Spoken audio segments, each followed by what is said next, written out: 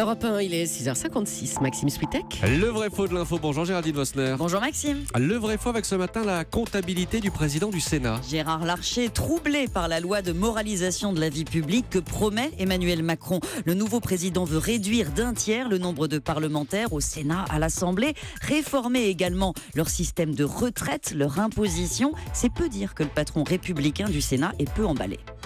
Ça n'est pas au travers de ça qu'on réduira de beaucoup la dépense publique. Je rappelle qu'un sénateur, ça coûte 5 euros par an et par Français.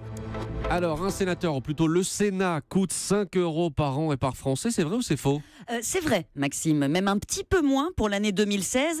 4 euros 15 centimes. Voilà ce que vous avez payé pour faire fonctionner la Haute Assemblée. C'est 348 sénateurs. Ajoutez 8,50 euros pour l'Assemblée nationale. Les députés, ça fait un total d'un peu moins de 13 euros. C'est le coût annuel par Français de nos représentants du pouvoir législatif. Donc, dit comme ça, c'est déjà une somme mais pour vous donner un ordre d'idée, on donne 61 euros seulement pour la justice et c'est 76 000 personnels.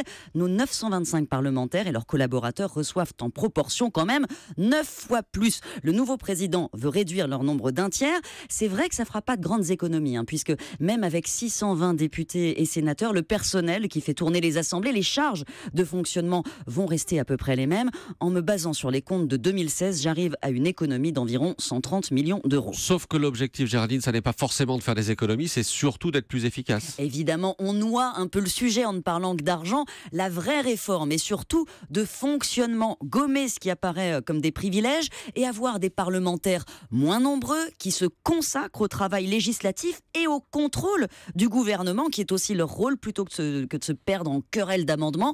Le président veut des procédures rapides, réduire le temps consacré à l'examen des textes, euh, le pouvoir d'amendement des parlementaires pour légiférer légiférer mieux et surtout plus vite. Un risque quand même que pointent les professeurs auxquels j'ai parlé, celui que l'Assemblée devienne une chambre d'enregistrement qui se, se contenterait de valider les textes décidés par l'exécutif. Et on verra comment Emmanuel Macron fait usage du pouvoir. Merci en tout cas, merci Géraldine Vosner.